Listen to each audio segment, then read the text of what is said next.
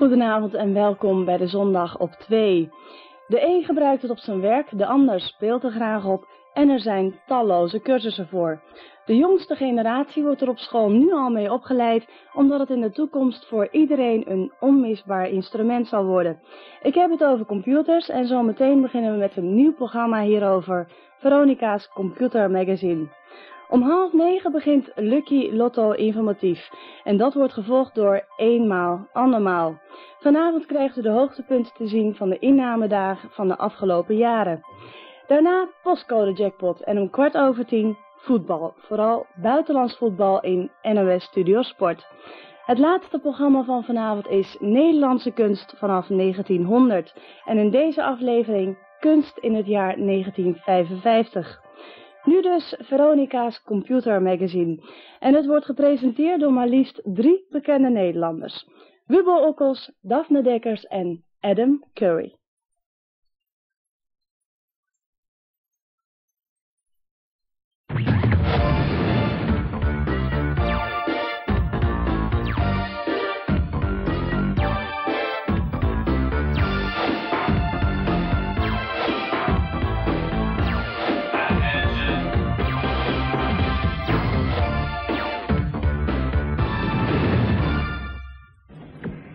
Goedenavond allemaal.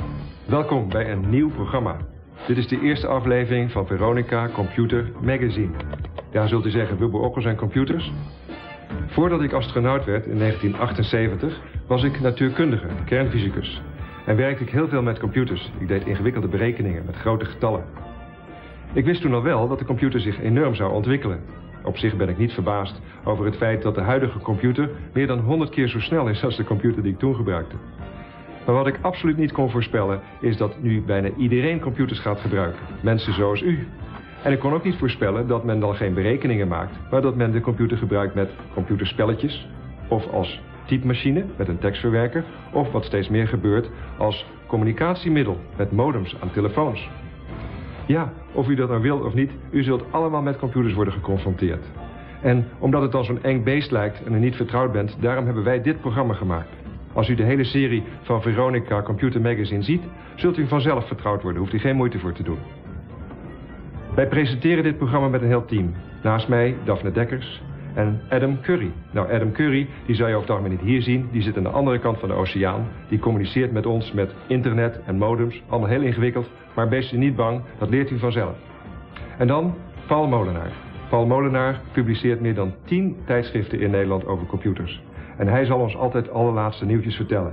Dus ook voor diegenen onder u die computers lang kennen, blijft dit programma heel interessant. En dan raad ik u aan om de videorecorder klaar te zetten. U kunt vooral het laatste stuk van dit programma opnemen. Ja, mag het natuurlijk helemaal opnemen als u dat wilt.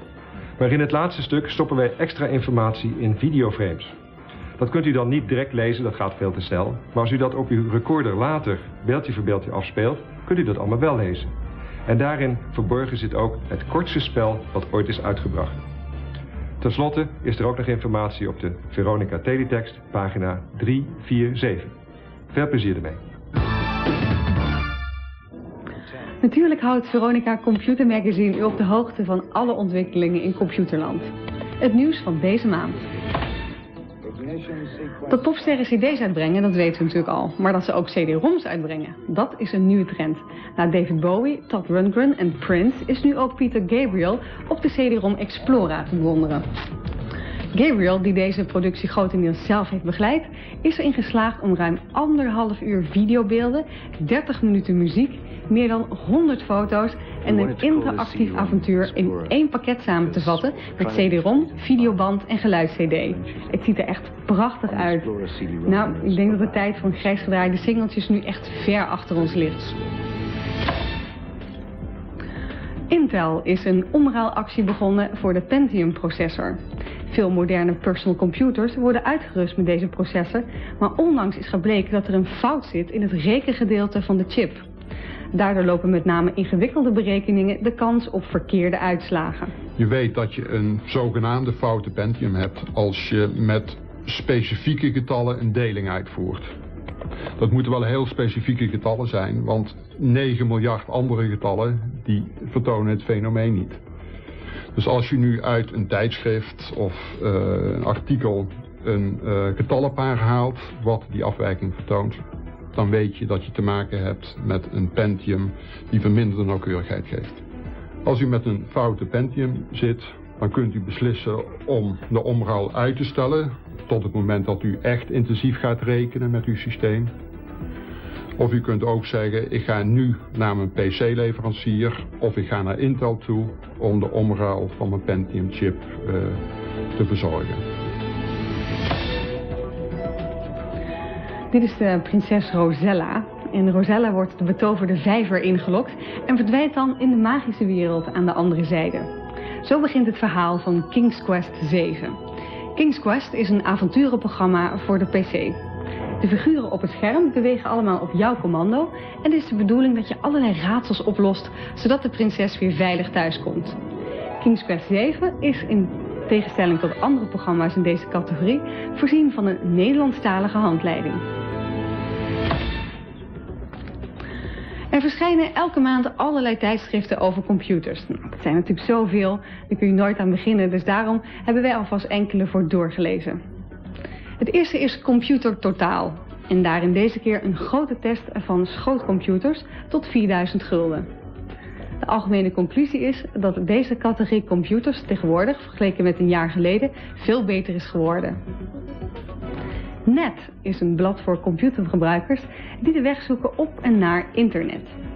Speciaal voor beginnende gebruikers worden in dit nummer de 100 meest gestelde vragen over internet op een rijtje gezet en beantwoord.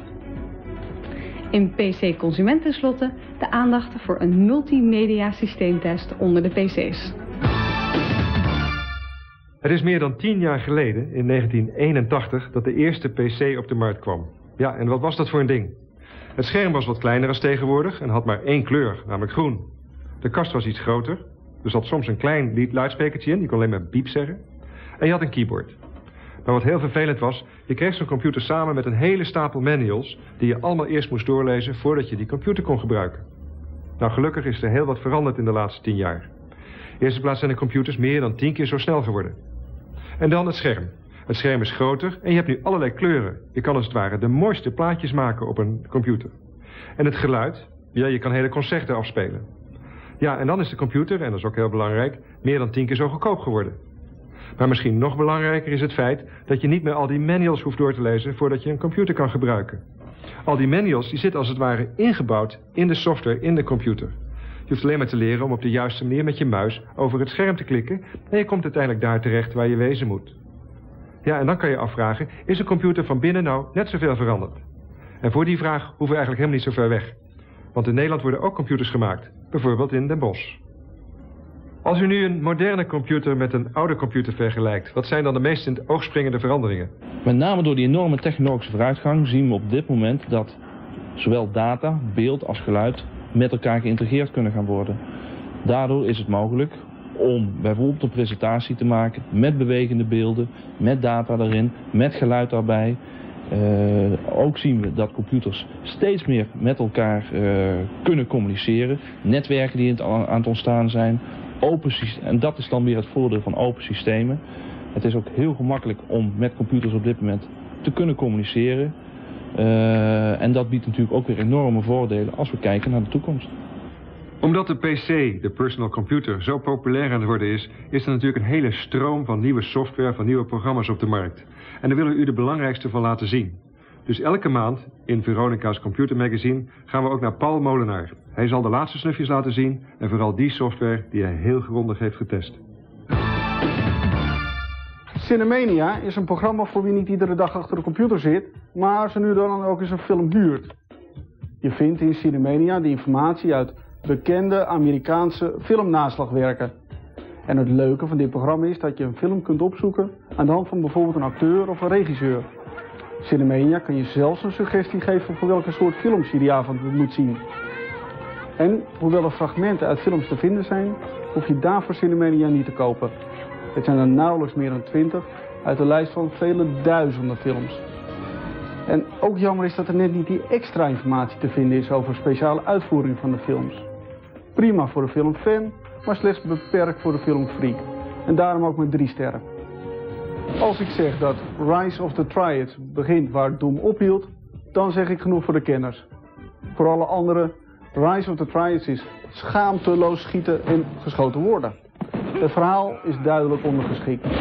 Technisch erg knap, maar door alle bloed niet verantwoord voor al te jeugdige computerspelers. Dus extra populair juist onder die groep. Twee sterren. Een voorbeeld van een goed origineel spel is Little Big Adventure. Ook dit spel ook soms wat agressief, maar dat is meer slapstick. Het is in ieder geval met veel gevoel voor vorm gemaakt, al vinden wij het wat prijzig. We gaven het toch vier sterren. Wie nog niet zoveel ervaring heeft met computers, maar de PC wel voor het bedrijf wil gebruiken, kan het beste een geïntegreerd pakket kopen. Dat is dan een programma dat vaak uit vier of vijf onderdelen bestaat, zoals een tekstverwerker, een rekenprogramma, een database enzovoort. Zo'n programma is niet opgetuigd met vele toeters en bellen, zodat het overzichtelijk blijft. ClarusWorks voor Windows is een voorbeeld van zo'n programma. Goed om ervaring mee op te doen, maar meestal ook nog eens lang bruikbaar voor vele bedrijfstoepassingen, zoals mailings en eenvoudige boekhouding. ClarusWorks voldoet goed, maar is wat aan de dure kant vergeleken met soortgelijke pakketten. Daarom drie sterren. Welk kind heeft nog wat aan een spelcomputer, als je ziet wat voor kinderprogramma's er zijn voor de personal computer. De Crayola Amazing Art Adventure is op dit moment favoriet bij mijn nazaten. Niet zonder reden. Het programma is kleurrijk, vol met leuke geluiden en er gebeurt van alles op het scherm. Misschien is het ook wel zo leuk omdat de makers niet hebben gezocht naar educatieve excuses. Crayola is gewoon leuk en de kinderen besteden er uren aan. Zonder dat het programma engstalig is en de handleiding slecht verzorgd. Minpuntjes, dus drie sterren. Haute Cuisine is een receptenprogramma. Zeg maar braakhekken in floppy formaat. Jammer dat het programma geen plaatjes heeft, want het eten begint wat mij betreft eigenlijk al met het kijken naar de foto's. Het bevat wel vele recepten en het maakt slimme boodschappenbriefjes die bijvoorbeeld rekening kunnen houden met de indeling van de supermarkt. En de hoeveelheid ingrediënten wordt feilloos aangepast aan de opgegeven hoeveelheid eters. Haute cuisine is of hij serieus werk maakt van een etentje. En deze elektronische braakhekker blijft tenminste van de vlees af. Vier sterren. Iedereen zit tegenwoordig op internet, tenminste zo lijkt het. En er schijnt ook van alles te gebeuren op dat internet. Maar wat is internet nou precies? Daarvoor gaan we even naar Veronica, want ook Veronica zit op internet. Ik zit hier bij Pieter Kramer van Veronica's Digitaal Centrum. Pieter, wat is internet nou precies? Nou, het internet, uh, dat is het, eigenlijk het eenvoudigst uit te leggen als een uh, verzameling van een heleboel netwerken die over de hele wereld is uitgestrekt. En je kan er je computer op aansluiten. Ik heb thuis ook een computer. Uh, hoe kom ik nou op dat internet terecht? Nou, naast, behalve je computer heb je ook een modem nodig. Zodat je computer zeg maar kan praten met het internet. En dus met andere computers. Nou, nu zijn er in Nederland zo'n vijftiental uh, organisaties, waarvan een paar echt uh, professionele bedrijven zijn. Die maken het mogelijk dat mensen thuis, zoals jij en ik, uh, hun computer kunnen aansluiten op het internet. En ze hebben allemaal weer verschillende producten en services.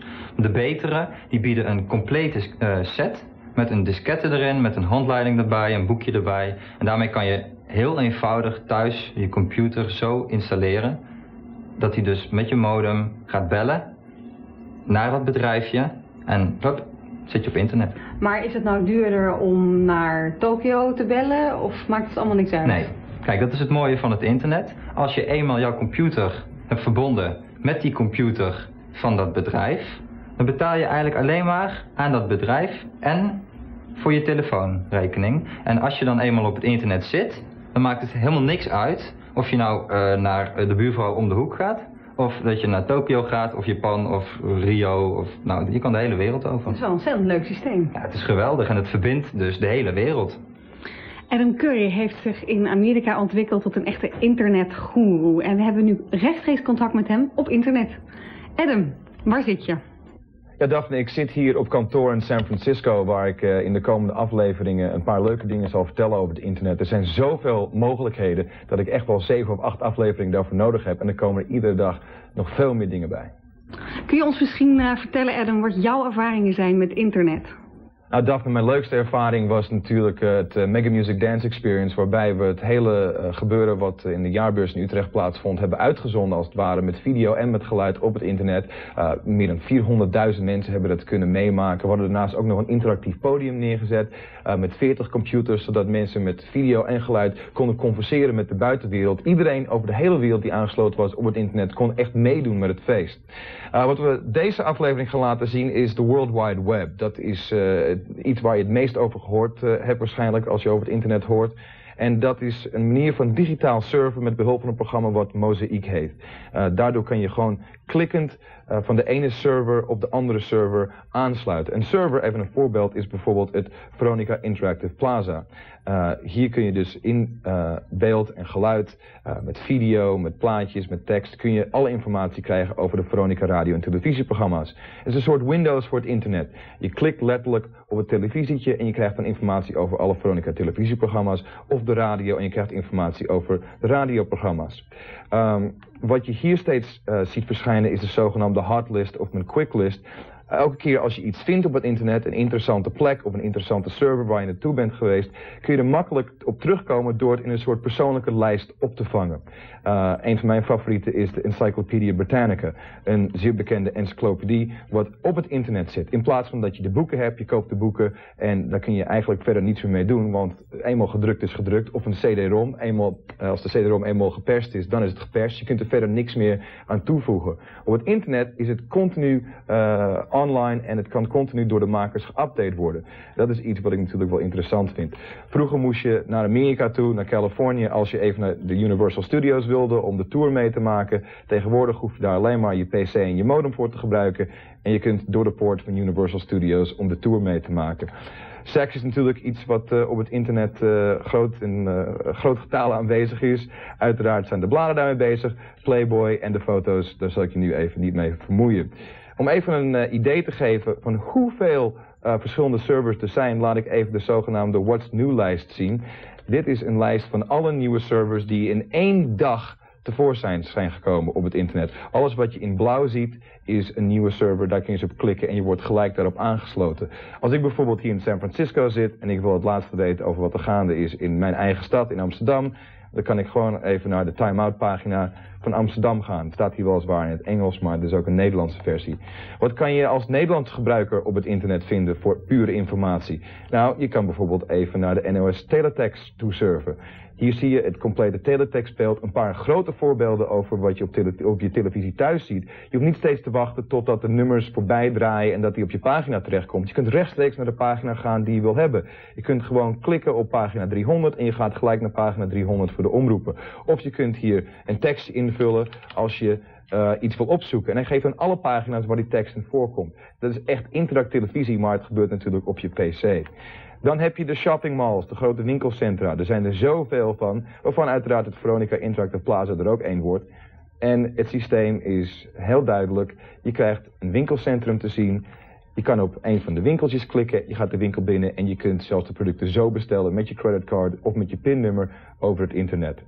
Het, nog eigenlijk het allermooiste van het internet is dat je niet alleen maar als consument te werk kan gaan, maar je kan ook als een kleine gebruiker zelf ook informatie beschikbaar maken voor de massa. Ik heb hier gewoon toevallig een paginaatje opgehaald van Remco van Zuilen, een van de jongen in Amsterdam, ik ken hem helemaal niet. En hij heeft een paar leuke uh, dingen uh, op zijn pagina gezet. Een paar leuke links, zodat je naar andere pagina's toe kunt surfen. Hij vindt bijvoorbeeld iets interessants wat ik ook leuk vind, is de Trojan Room Coffee Machine. Als je hierop klikt, dan zie je werkelijk een uh, koffiepot ergens in een kamertje in Engeland. En je kan zien door hierop te klikken of die vol is of niet. Nou, hij is leeg. En dat komt eigenlijk wel goed uit, want onze tijd is ook op voor deze aflevering uh, van uh, het internet, het surfen van het internet. Volgende keer ga ik praten over de zogenaamde MUDs, de Multi-User Dimensions, waarbij honderden mensen tegelijkertijd met elkaar kunnen converseren, de hele wereld over, voor dezelfde kosten van een lokaal telefoongesprek. Adam Curry in San Francisco voor Veronica Computer Magazine. Adam, bedankt. Dit was Adam Curry uit Amerika. We zullen Adam nog wel vaker zien bij Veronica Computer Magazine in de komende maanden. Dit kleine zilveren schijfje heeft niet alleen voor een revolutie in de muziekwereld gezorgd, maar ook de computerwereld staat helemaal op zijn kop. Voor de personal computer heet de compact disc de CD-ROM. Het is een beetje een saaie naam voor een fenomeen dat letterlijk een nieuwe wereld aan mogelijkheden heeft geopend voor de PC. Met interactieve films, met spannende avonturen en zelfs met een heleboel seks. Op een zilveren schijfje als dit past meer dan een uur muziek. Maar er kunnen ook net zoveel gegevens op als op een half miljoen velletjes A4-papier. En dat is zo'n 650 megabyte. Deze gigantische capaciteit wordt nu gebruikt voor video en geluid. Daarom speelt de CD-ROM een belangrijke rol in de multimedia. CD-ROM is een absolute hit. Eén of de twee computers gaat tegenwoordig al de winkel uit met een CD-ROM-speler als standaard ingebouwd. Maar wil jij nou op je bestaande computersysteem zelf een CD-ROM inbouwen, dan zijn daarvoor allerlei standaard CD-ROM setjes te koop. Elke CD-ROM-speler is tegenwoordig double speed. Dat betekent natuurlijk dat de CD-ROM met dubbele snelheid gegevens kan lezen. Nou, binnenkort kunnen we zelfs ook CD-ROM-spelers verwachten met drie of zelfs viervoudige snelheid. Er zijn op dit moment uh, een paar trends in de CD-ROMs. Om te beginnen worden de bladenuitgevers steeds actiever in de CD-ROM. Zo brengt het uh, grootste PC-blad van Nederland elke drie maanden een aanvulling van twee CD-ROM-schijven. Daarop vind je dus een multimedia tijdschrift met video en geluid en talloze vrij verspreidbare programma's. Henk Hogendoorn is software-distributeur. Henk, het lijkt me echt hard gaan met de CD-ROM-ontwikkelingen. Ja, enorm hard. Die, is, uh, die wereld is in anderhalf jaar tijd geëxplodeerd. Het is een wereld waarin uh, op het ogenblik enorm veel wordt geïnvesteerd. De, de, de, de, muziekindustrie is erbij gekomen. Er worden voorspellen worden bekende muzikanten als Brian May en Tobias Dolby aangetrokken. Uh, de filmindustrie wordt erbij gehaald. Hollywood-acteurs worden ingeschakeld. Het is echt een miljoenenbusiness nu geworden. Wing Commander 3 bijvoorbeeld, daar is Mark Hamill voor gevraagd. Under a Killing Moon hebben ze Margot Kidder uit de kast gehaald, die ook in Superman heeft gespeeld. En Hell met Grace Jones en Dennis Hopper. Dus het is echt big business nu. Is de tijd van programma's op floppy disk dan nu definitief voorbij? Dat klopt. De, de floppy disk, zeker entertainment, is op sterven na dood. Ja, we hebben u overspoeld met allerlei ontwikkelingen op computergebied. En ik kan me heel goed voorstellen als u nou een computerwinkel binnenkomt, zoals hier... dat u dan eigenlijk zegt van ja, ik begrijp niks van al die termen. Soundblasters, 486 uh, processors enzovoort. En dat u uiteindelijk het gevoel krijgt dat u misschien met iets naar huis gaat wat u helemaal niet nodig heeft. En nog erger, dat u te veel geld heeft betaald. Ja, laten we daarom even vragen hier aan de, de verkoper, Wiljan. Wat is nou eigenlijk de meest gestelde vraag als men hier zo binnenkomt? De meest gestelde vraag bij ons is wat voor computer moet ik kopen met welk systeem? Ja, en welke soort computer? Daarvoor is het heel erg belangrijk om iets te begrijpen van processor en klokfrequentie. En er was een vraag over. En dat wordt ook de eerste vraag die wij aan onze vraagbaak gaan beantwoorden. De processor is eigenlijk het hart van de computer. De processor zorgt ervoor dat er iets gebeurt. Dat er een beeld is op uw scherm. Dat er wordt gereageerd als je op de toetsen drukt. Je zou eigenlijk een processor kunnen vergelijken met de motor in een auto. En net zoals bij motoren heb je hele simpele processoren en ook hele ingewikkelde processoren. Je hebt bijvoorbeeld ook net zoals bij motoren een viercilindermotor met twee kleppen per cilinder en een twaalfcilindermotor met vier kleppen per cilinder. En net zoals bij auto's geef je aan processoren nummers. U kent het wel bij een auto. BMW 300, 500, 700, Mercedes 200, 300. Ook bij Mazda geven ze nummers. Zo heb je bij processoren 286, 386, 486. Hoe hoger het nummer, hoe ingewikkelder de processor. Maar er is nog een vergelijking met de auto's. Een viercilinder auto kan best harder rijden dan een twaalfcilinder auto. Dat hangt van zijn toerental af. Nou, bij processoren geldt hetzelfde. Het toerental voor een processor is eigenlijk de kloksnelheid. En kloksnelheid wordt uitgedrukt in megahertz. Mega betekent miljoen. 50 megahertz betekent dat deze processor 50 miljoen keer per seconde een bewerking doet. Dus om de power van een computer te weten heb je twee dingen nodig. Hoe ingewikkeld is de processor en hoe snel draait hij de kloksnelheid. Ja, Wiljan, dan willen we graag natuurlijk weten van wat koop je hier nou eigenlijk als minimum om de algemene zaken te kunnen doen? Het minimum wat op het moment bij ons gekocht wordt is een 486 processor, 66 megahertz. Nou, prachtig. Dan hebben we daar antwoord op, op die vraag. Ja, u zult ongetwijfeld heel veel andere vragen hebben voor de vraagbaak. En die kunt u dan zenden naar een adres wat in een van onze videoframes te zien is. Zet nu uw videorecorder aan. Staat hij aan? Oké, want dan krijgt u nu nog meer informatie en wel op een hele speciale manier. Wanneer u straks de opname langzaam terugspoelt, dan is het duidelijk leesbaar. En bovendien kunt u dan ook meedoen aan de kortste prijsvraag van Nederland. Het duurt maar één seconde en op het laatste frame vindt u ons adres. Op dat adres kunt u terecht voor vragen, opmerkingen en ideeën, maar ook voor de oplossing van de prijsvraag. Met deze prijsvraag maakt u kans op deze fraaie printer. Deze printer kun je scherpe en heldere afdrukken maken en bovendien in echte kleuren printen. Nou, alle reden toch om mee te doen. Let op, hier komt hij. Dat was heel kort, hè? Leuk dat u gekeken heeft. Tot volgende maand bij Veronica Computer Magazine.